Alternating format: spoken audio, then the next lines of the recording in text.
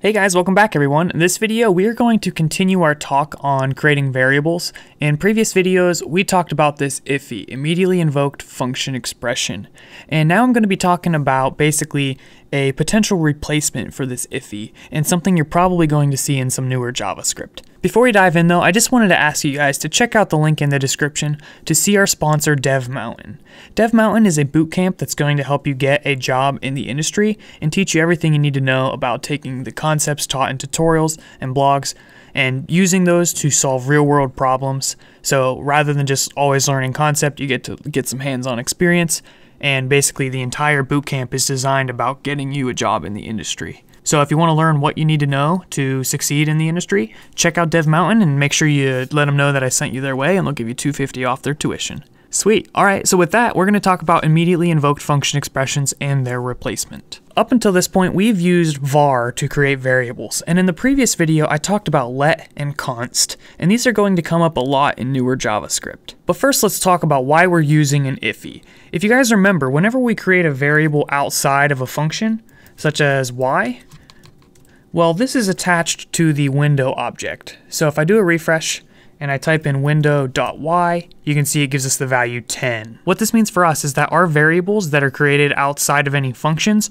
are accessible globally. This means we're basically polluting the global variables and adding new variables that people can easily replace. Definitely not something we want to do if we're building complex applications or using different frameworks or libraries that might already have variables with the same name as the ones we have. Because of that, the pattern of the iffy was created, and essentially we encapsulate all of our code in one giant function. So that means when we go down here and try to access age, well age doesn't even exist because we go through here, we execute that function, we're outside of the function, we assign a value to y, and then we try to get the value of age. Well, we're outside of that function now, and it's already been executed, age no longer exists.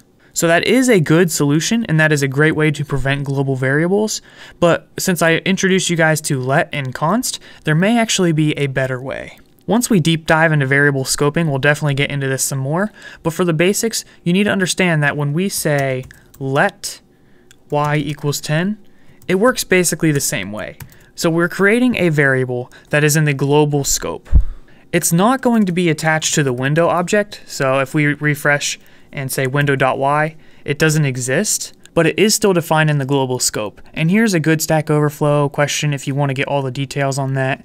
But Basically, the conclusion is that both are still global, but vars is stored in window and lets are stored in a declarative environment. And he explains what all that is up here. But essentially, what this means is that when we say let y equals 10, it's basically the same as doing var y equals 10. They're both accessible globally, and it still introduces the same issues. But the benefit of using let is that we can use block scoping. So a block is any time we have a set of curly braces like so. Here is an example of a block. So similar to how this function has a block, well we can create a block anywhere and we'll often see those with if statements when we get into those you'll see a block like so and you'll see them lots of other places. Block level scoping essentially restricts our variable to just this block. So now if we say let y equals 10 and if we do y, nothing. You know it's it's not there similar to the iffy. So in newer JavaScript content, you're probably just going to see these blocks and all of the variables are going to be created with let or const. The variables can still be used, but only inside of this block. So if we wanted to print the values, we could do it like so.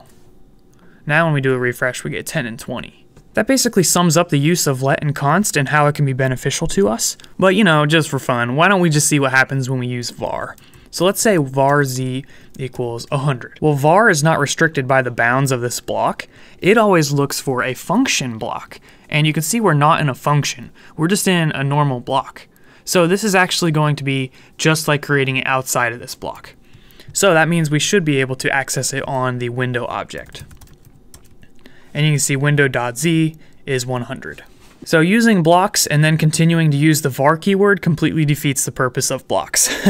Typically what you'll see is maybe some older JavaScript applications will use the iffy and lots of vars, and then newer applications are going to use curly braces as a block using let and const. Either one you use, it's totally up to you, but I would probably recommend let and const, as this is a more restrictive, I guess might be the word, way of creating variables, in that you're only creating variables in the area that you need them. We haven't really talked about much scoping rules, but understand that we can nest blocks just like we can nest functions, and we'll get into that later on in the series. But this means when we create a variable in here, let's say let y equal 6, and what we're going to do is we're going to console log y in here, and then we're going to console log it out here too. And let's do a refresh.